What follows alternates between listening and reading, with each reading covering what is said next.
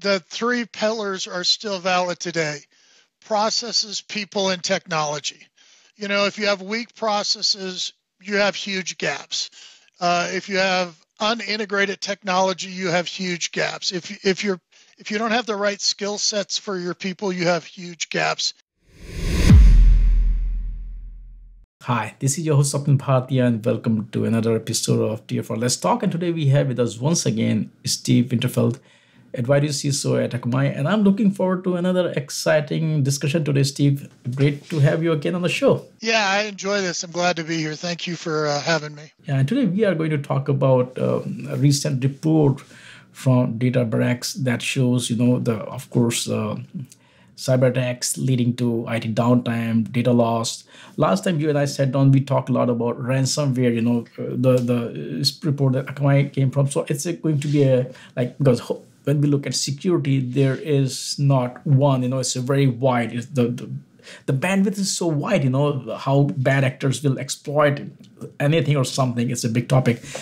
But before we go into the broader topic, just let let's look at this report. And you know, when you saw the report, were you like, "Oh, this is happening," or you like, "Yes, we expected that kind of things to happen"? When I was the CISO for Nordstrom Bank previously, um, I own disaster recovery and business continuity, and and really it is true. You know, you you have hardware fails at 21%, you have cloud outages at 12%, natural disasters at 5%, and those are things that happen. Um, and and you lose your physical asset, and then you need business continuity. You need operations to keep your business going while you restore that technology. And I think the difference here is resiliency talks about the fact that I have an active adversary, a thinking adversary trying to take me offline. And so, you know, they may do it with a denial of service, and, and there are multiple types of denial of service. And that's a, a short period of time, a disruption. Uh, there are ransomware, which is, is a serious loss of access. Uh, we've seen, you know, and so I think, you know, 10, 15 years ago, there weren't a lot of cyber outages that truly could put a business at risk, that you may go out of business. But now it is. And so it really is not a surprise. We are seeing this driven uh, to, to force us to take more actions. Can you talk about what is, especially as earlier it was not the case, now cyber attacks can lead to downtime and data loss?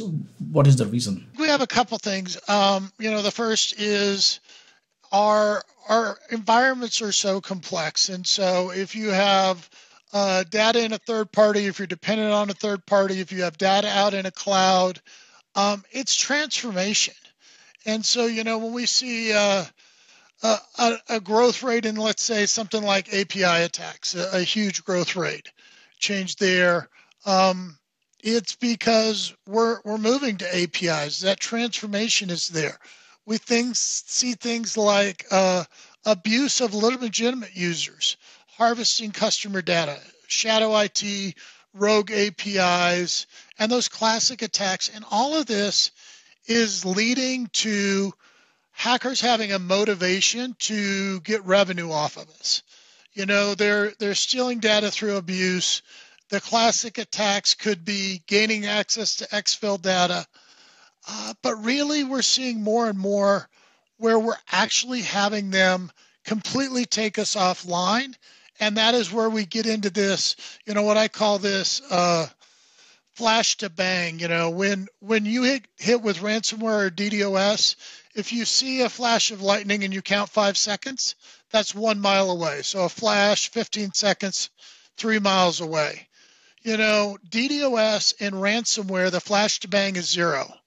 There's no getting ready. You're just suddenly not working.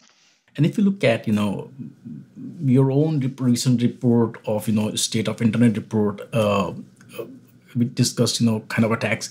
What are the industries? Of course, every industry is susceptible, you know, or risk, you know, ever, you know, it doesn't really matter, you know, if you are under attack, if your services are down, if there's data loss, you know, you are affected but there are a lot of uh, industries which are mission critical or very very sensitive. Financial can be one, healthcare can be one. So so talk a bit about what kind of industries that you see are more susceptible or more prone to these kind of attacks and also more vulnerable. We put out multiple of these uh, research reports, state of the internet. We do some of them on topics like API or ransomware.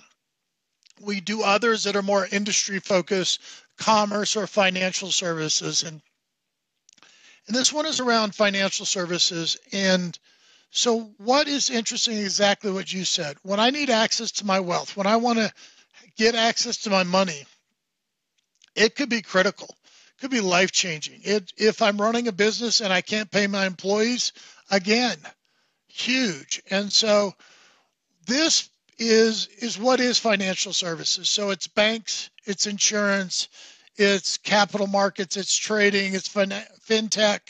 So this broad category, what we looked at is we said, you know, first of all, talking to my CEO or, or talking to my leadership, they're asking me questions from the board like, um, where does our industry compare to other industries?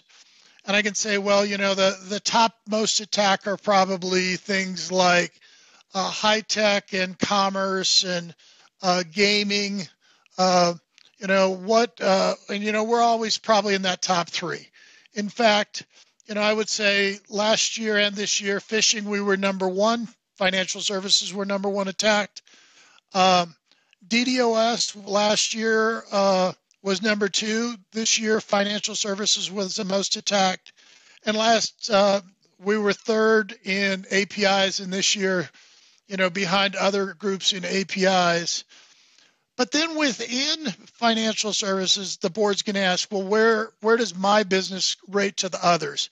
And there, banking was the most hit. So some of this is understanding is our risk portfolio appropriate? How much should we invest? Because how heavily were we attacked? When we look at some of these threats, do you see a pattern where they are limited to specific regions or they're like global? Because sometimes incentives are also different for bad actors. Absolutely, and and different business models. And so you know, um, we often find by industry, by region, different changes. So you know uh, if if we looked at something like uh, what is is driven for let's say attacks, the most API attacks, well, it, it would be within Europe or EMEA, it would be the UK.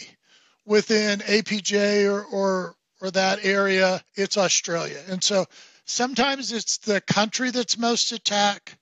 Other times it is um, you know, we said uh, may not be the most attacked here, where we're in a different region uh, it is the most attacked.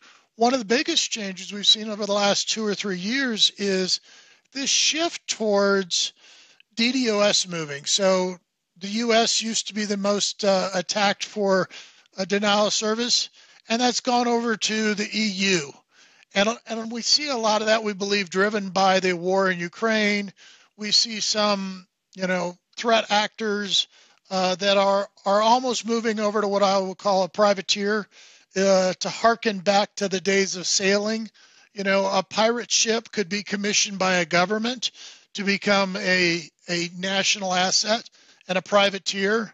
Uh, we see criminal groups now with political motivation. So, again, business model and and legislation. You know, all of this. We see legislation like DORA coming out, and uh, that is a Digital Resiliency Act coming out of the EU, and that's going to be driving. You know, going back to that first topic we covered, legislation is now going to be driving some of the activity around resiliency going back to the point of you know these new kind of attacks one one more uh, technology that is very very hot these days which is generative ai uh, how do you see generative AI is going to either enable you know bad actors because you know it has so many capabilities, especially if you're talking about social engineering and all those things. Uh, what are your thoughts on generative AI from the perspective of being used for attacks? Or being used for defense. We have to remember generative AI is simply one of the three disciplines within artificial intelligence designed to tell you what the next most likely word is. And so, um, you know, it doesn't tell the truth, it doesn't lie, it generates a probability factor for a word. And and so if you are running a security operations center and you want to reach out into do some research in your private uh, large language model uh, of all your policies, I think it'll be great. I think it's very helpful. It's letting people to be more responsive, to quickly gain knowledge. Uh, there, I think eventually we'll be tying that into some of our automation. I think there's some real potential for the defenders to get better information faster. Um, you know, we've been using machine learning for a long time. We're doing great things with that. I expect to see us continue to drill down there for private on the security side. On the threat side, um, I think it's going to make one discipline much easier to make revenue on, and that's business email compromise. I think they can, you know, go out and, and use this to create uh, a, better social engineering engagement. Uh, we've seen a, a branch of this where they're they're getting actually reinforcing with telephone calls and and you know almost getting into that deep fake area where they're creating a much deeper richer social engineering experiment. What kind of new emerging threats that you're seeing which are still you know at a very budding stage of surface they have not like you know taken over where you're like hey these are the new new generation of attacks that we are not prepared and they are coming? Http ddos attacks just came out. Uh, we have server side request forgery is coming out. We're seeing a lot more in in moving back towards technical attacks. Uh, we're seeing more innovation there of of hackers paying for zero days, and so we kind of have this constant shifting back and forth. Uh, I will tell you that I think, um, you know, that that we have constant stressors on access to talent uh, we have constant stressors around federated legislation. You know, if you're a global company, and even if you're not, keeping up with all the changes in legislation, uh, that's a constant challenge. How we're doing that. Uh, the bigger things I'm seeing is, you know, we're we're taking more and more effort to get deep visibility in complex environment. I have stuff in the cloud. I have stuff on prem. I have stuff using uh, function as a service or serverless. I have, st- and the, you know, third parties. How do you get visibility across all that, and how do you minimize dwell times?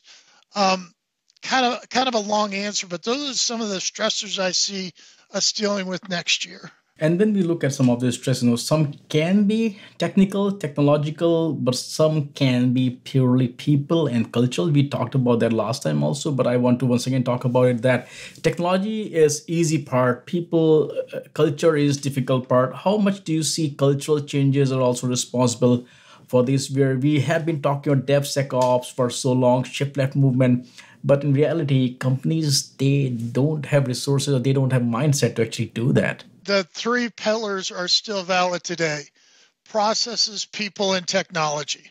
You know, if you have weak processes, you have huge gaps.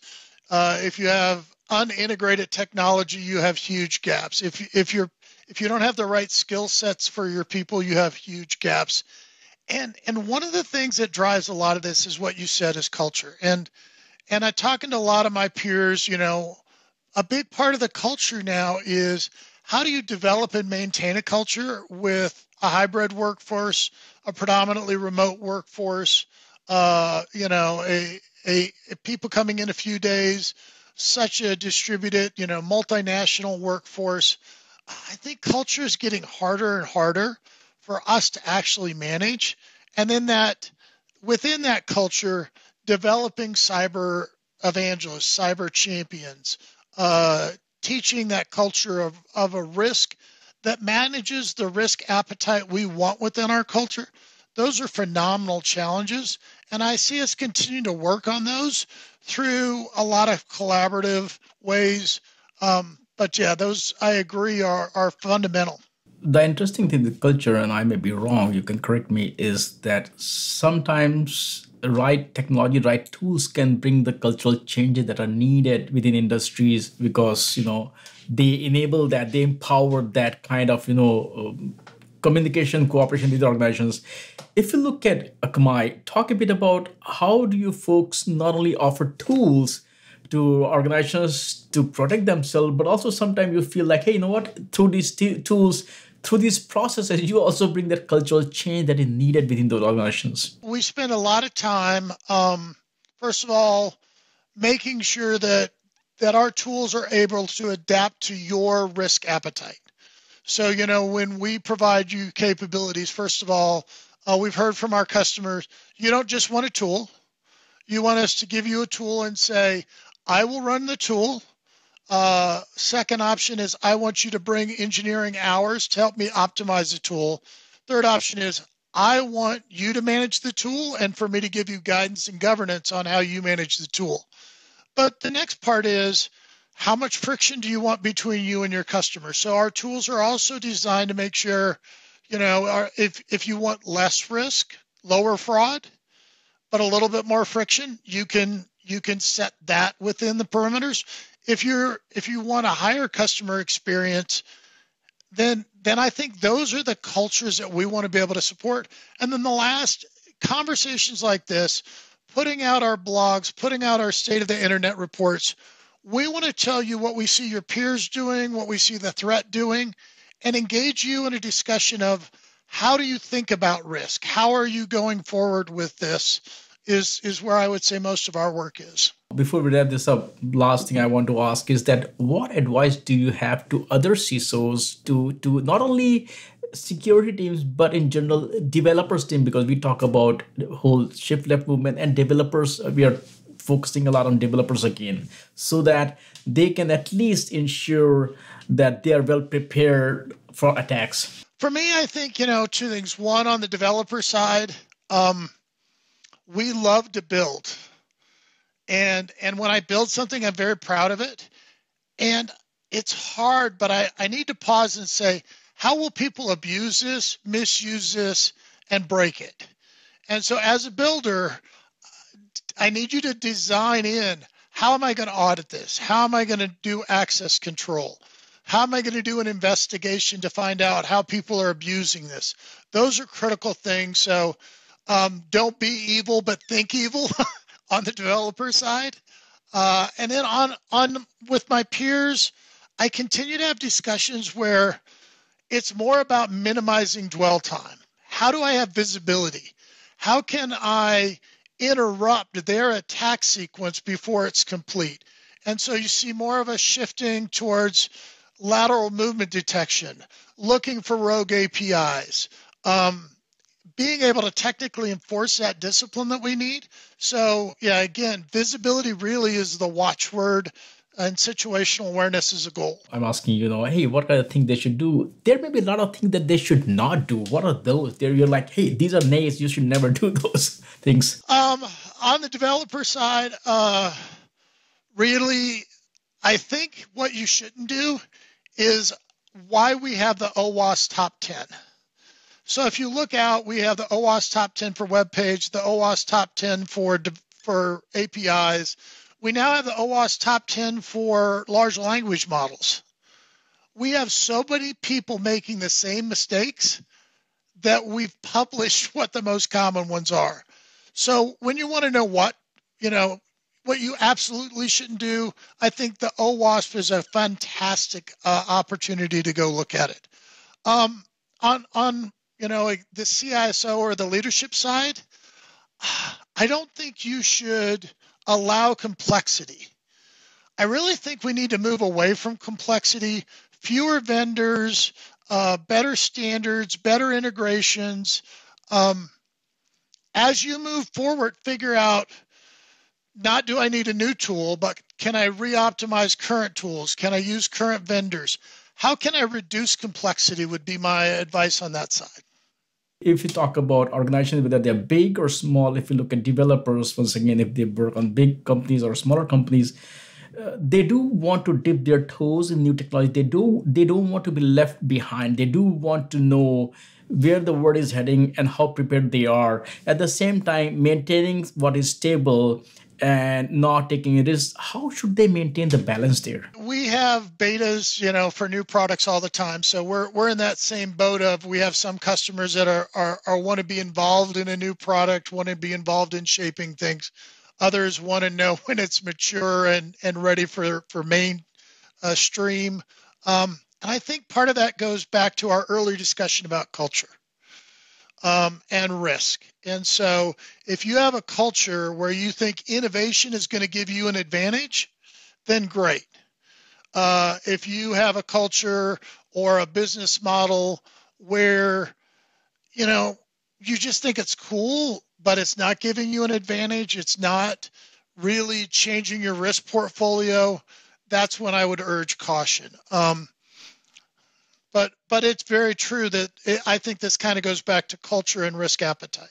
Steve, thank you so much for taking time out today and talk about this, you know, as we discuss, you know, interesting topic. And I would love to have you back on the show. I, I feel that we should uh, start a regular monthly show to talk about security, cybersecurity. But I really, really appreciate your insights and thoughts. Thank you. I always enjoy this conversation and thanks everybody for listening. Have a great day.